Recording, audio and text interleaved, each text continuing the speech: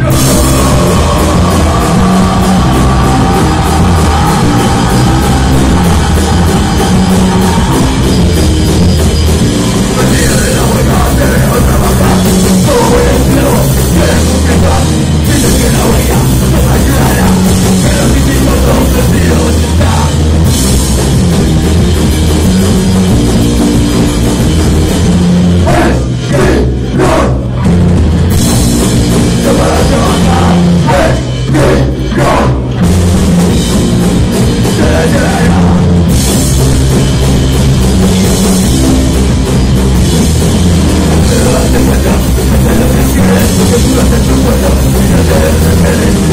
Políticos, indígenas, para la tierra, la libertad.